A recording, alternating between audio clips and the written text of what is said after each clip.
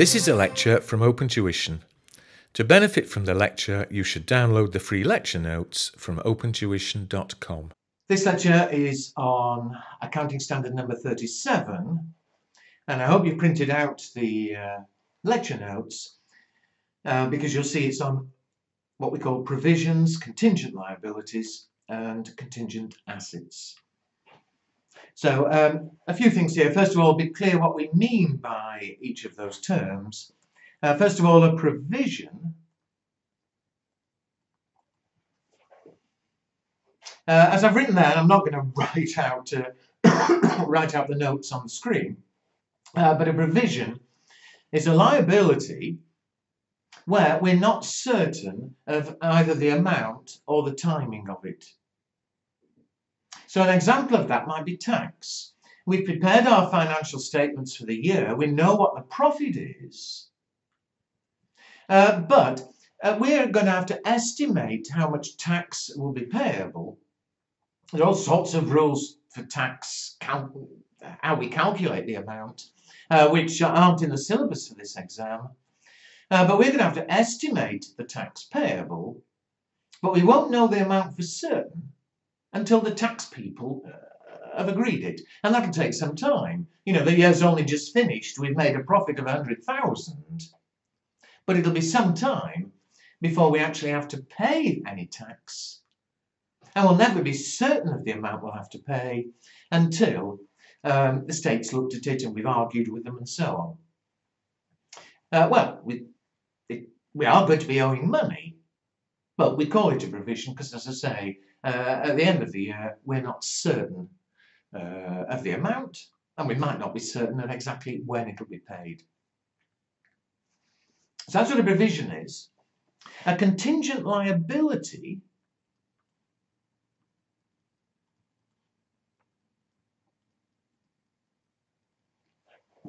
Uh, this again is where uh, we're perhaps owing money, a liability, but the word contingent means that whether we owe money or not depends on the outcome of something.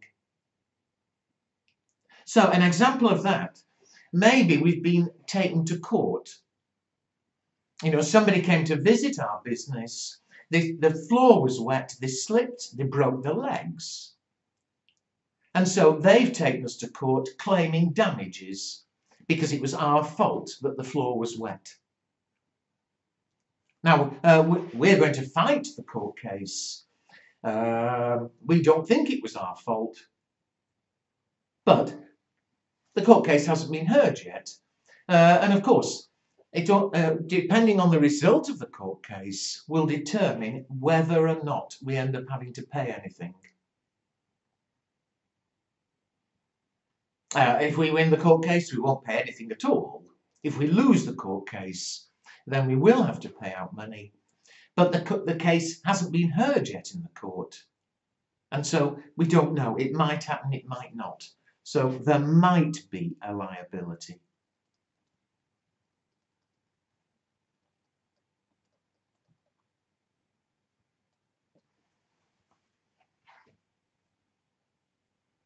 Uh, finally, uh, for definitions, a contingent asset.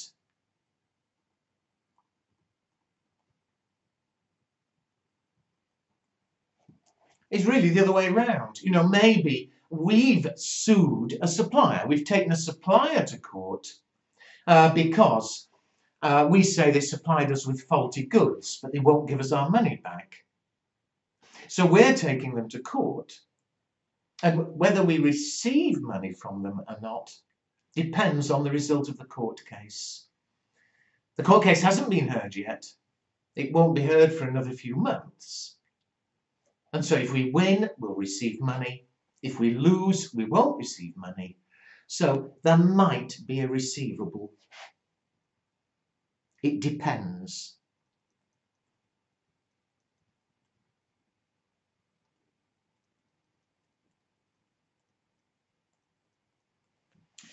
So that's what we mean by these. Um, the first two are fairly similar, but the provision appreciate. Uh, we are going to be owing money, but we're just not certain of the amount or the timing. contingent liability, we might be owing money, but we're not sure. We don't know yet whether we will or not. Uh, well, the requirements of IAS 7, now the 37, this looks a bit confusing. Provisions, it says if the payment is probable, then we should recognise in the financial statements. Now, what we mean by recognise is we should show money as owing if it's probable we're going to have to pay, and probable is if it's more than 50% likely. Now, how do we know if it's more than 50? We take advice. We take advice from experts. So, I mean, tax, for instance, unless something really strange is going on, um, we may not be certain of the amount we're going to have to pay, but it is more than usually more than 50% likely we will have to pay something. Uh, and we take advice from tax experts as to whether it was more than 50% likely. Uh, but if it is, then we must recognise it in the financial statements. We do show it as a liability.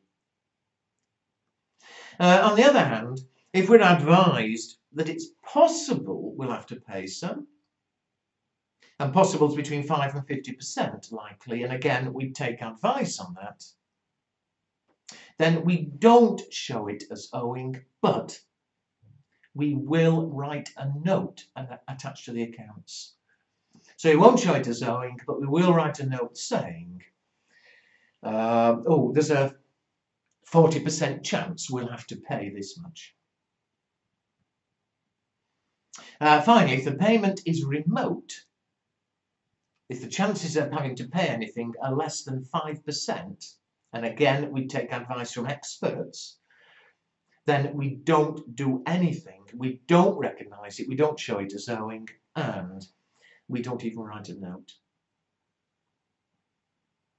Now, for something as, uh, like tax, where I've explained we'd have a provision, uh, then this probable possible remote um, is normally going to be irrelevant, you know. We are going to have to pay tax. It is probable. Even it's just that we don't know exactly how much, but we will show it as owing. It's probable. But where it becomes relevant is when we come to contingent liabilities.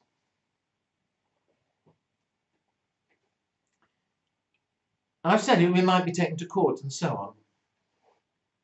Well, now this is the bit to get straight suppose we've already been, something's already happened.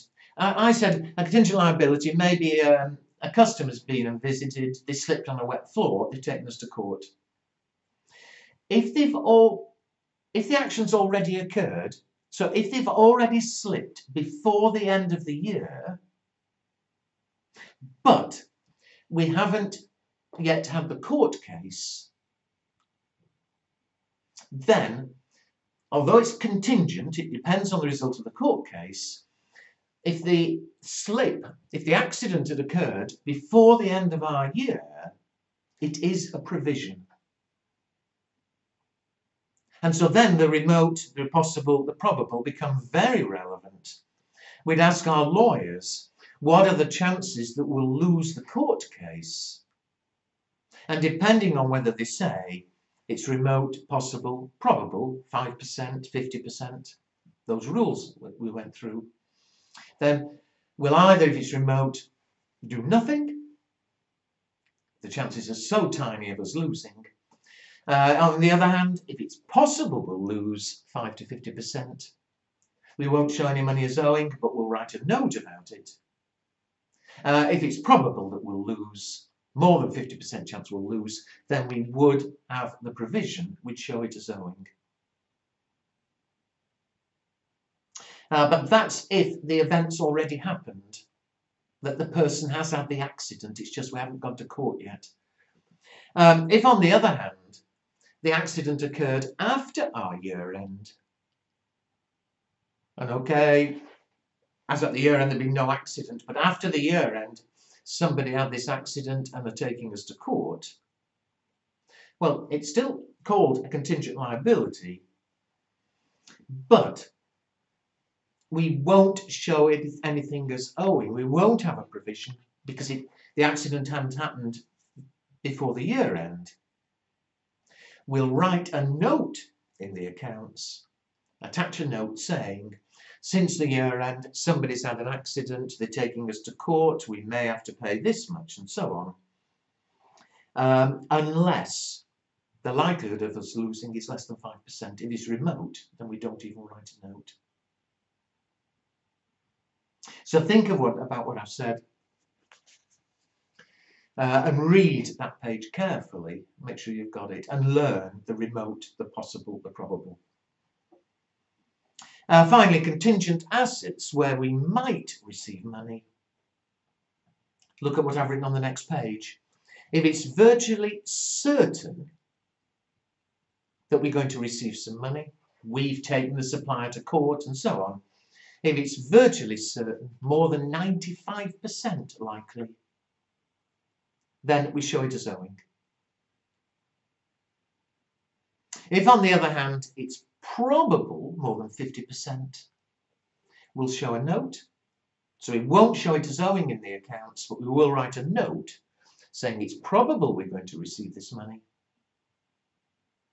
However, if it's less than 50%, either possible or remote, uh, then we don't show any money as owing and we don't even write a note.